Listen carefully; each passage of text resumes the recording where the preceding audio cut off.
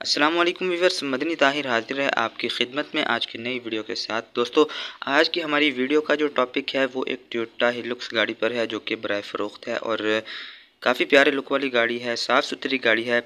Video भी हमारी मुख्तसर है तो हम बात को इस गाड़ी के हवाले से मुख्तसर करेंगे। अपने वीडियो को एंड तक ज़रूर देखना है। मैं इसके मालिक का रबता नंबर, कीमत, लोकेशन समेत तमाम चीज़ें मुख्तसरा शेयर करूँगा तो आपने वीडियो को एंड तक ज़रूर देखना है। तो चलिए, बात को हम अपनी स्टार्ट करते हैं। ये गाड़ी Toyota Hilux double cabin pickup है। डिटेल के मुताबिक 2001 गाड़ी का मॉडल है। इंतहाई साफ़ सुथरी गाड़ी है। फ्रंट पर इस गाड़ी के, जैसा कि आप देख सकते हैं, आपको एक एंटीना और एक गार्ड भी इंस्टॉल मिलेगा।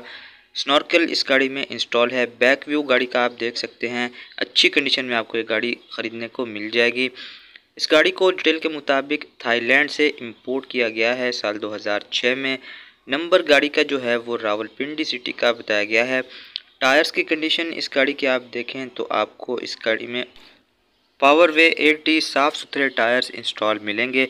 अब हम आते हैं गाड़ी के इंजन की तरफ़। तो गाड़ी में आपको एक 5L डीजल इंजन इंस्टॉल मिलेगा। अच्छी कंडीशन का गेयर यानी कि ट्रांसमिशन के हवाले से अगर बात की जाए तो ये गाड़ी आपको मैनुअल गेयर में ख़रीदने को मिल जाएगी।